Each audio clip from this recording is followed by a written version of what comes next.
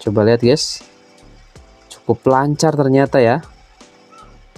Widih, mantap ya.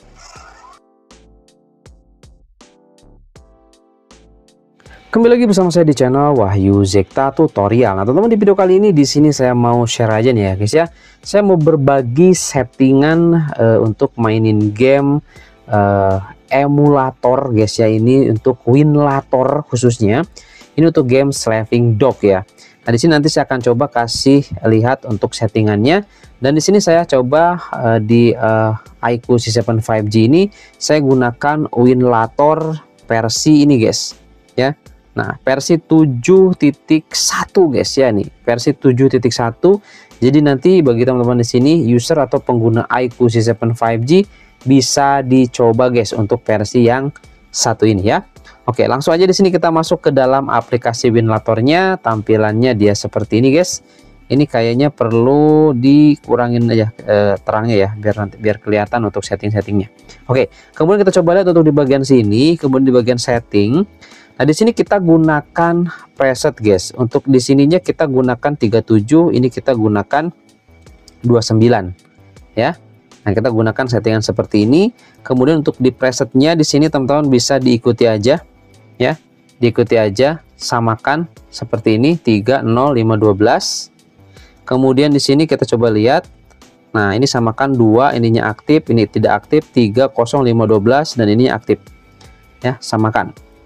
Oke, kalau sudah ini tinggal kita checklist aja. Selanjutnya teman-teman di sini kita gunakan settingan atau uh, screen size-nya di 640 480 guys karena game Slapping Dog itu cukup berat cuy ya. Nah, di sini untuk turnip adrenonya di sini kita gunakan yang 24.1.0 yang default.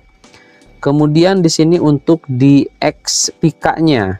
Di XPK-nya di sini kita gunakan 2.3.1 guys. Nah, kita gunakan yang ini kemudian yang lain-lainnya ke bawah bisa teman-teman samakan ya untuk settingannya oke seperti ini kemudian untuk yang lainnya ini juga teman-teman bisa disamakan aja ini juga disamakan teman-teman untuk settingannya ya dan di sini untuk advance kita gunakan press satu press satu lagi samain untuk startup selectionnya kita gunakan agresif guys gunakan yang ini Kemudian di sini untuk prosesor Affinity-nya kita untuk uh, CPU 0 sampai 1 ini kita nonaktifkan ya, enggak kita checklist.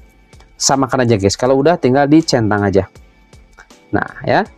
Sekarang di sini kita langsung saja ya, enggak diliatin uh, ke Winlatornya teman-teman. Kita langsung saja nanti masuk ke dalam gameplay dari Slapping Dog.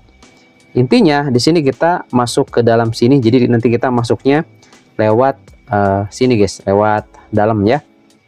Jadi saya nggak buat shortcut di sini. Nah jadi nanti kita via sini aja masuk ke dalam gamenya. Oke langsung aja teman-teman ya. Di sini kita masuk ke dalam gameplay dari game Slapping Dog. Ini saya tes di iQOO Z7 5G dengan SoC Snapdragon 782G ya mantap Oke yuk langsung aja kita coba simak guys Oke guys, di sini kita sudah masuk di dalam game Sleeping Dog ya. Dan sebelumnya kita sudah perlihatkan untuk tutorial uh, settingannya dan juga ventilatornya versi berapa guys. Nah, di sini kita langsung saja lihat gameplaynya seperti apa. Dan di sini ketika kita masuk ke dalam pengaturan, kita dapat di 25 26 fps guys ya. Ini ada yang request nih ya Sleeping Dog ya. Saya coba ini di iQOO Z7 5G dengan Snapdragon 782G ya mantap sekali ini Winlator bisa jalan Slapping Dog juga ini bisa lancar guys langsung aja kita coba lihat ya masuk ke dalam gamenya oke ini dia coba lihat guys cukup lancar ternyata ya Widih mantap ya oke kita coba lihat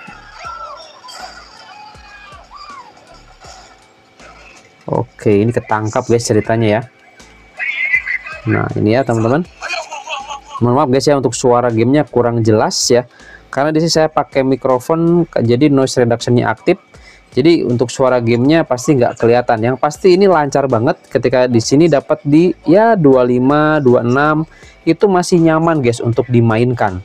Dan ini settingannya belum saya setting guys ya, belum saya setting low di sini ya. Masih settingannya default.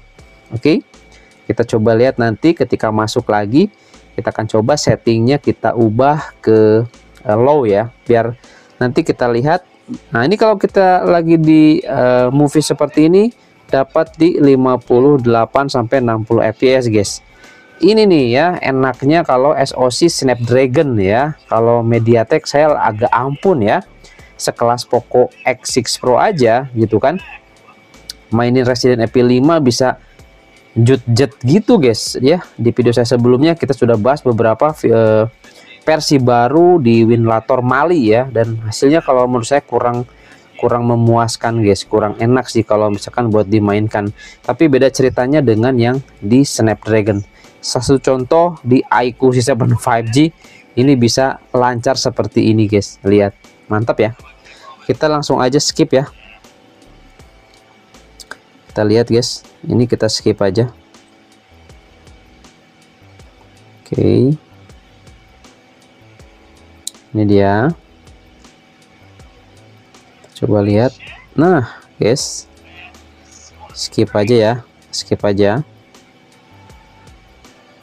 Nah teman-teman bisa lihat di sini kita dapat di 18an fps nah di sini kita akan coba setting guys ya. Kita akan coba setting. Oke kita lihat untuk settingannya. Di display ya. Nah di display kita buka. Nah di sini kita ininya kita lowkan aja ya. Atau custom aja deh. Ya custom. Di sini kita pijit key ini agak susah juga guys untuk ininya ya. Settingnya. Ini kita off kan aja. Ini normal aja. Ini off. Ini kita off. Ini kita low aja. Kita juga uh, low kan aja ya segini. Kalau udah kita E. Untuk shape ya teman-teman. Agak susah sih. Harus pakai mouse atau pakai stick ya biar enak. Oke. Okay.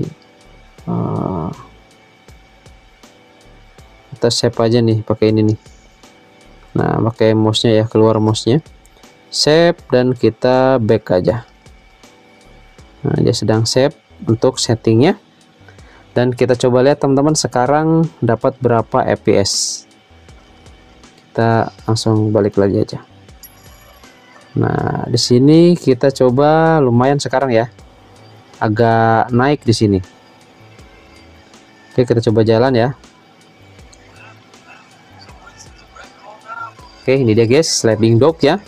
Di uh, iQOO C7 5G dia bisa lumayan nih jalan seperti ini guys ya. Kalau ada audio yang kurang pas tinggal di setting-setting aja guys ya. Oke yang pasti di sini kita dapat di 20 tadi 23 25 fps lumayan guys. Ini di iQOO C7 5G ya. Bisa jalan nih untuk game sliding dock oke? Nah itu aja teman-teman yang mau request boleh eh, komen di kolom komentar mau game apa nanti saya akan buatkan settingannya guys ya. Biar eh, optimal dan lancar guys ya. Oke itu aja untuk di video kali ini. Sampai ketemu lagi di video saya selanjutnya. Mantap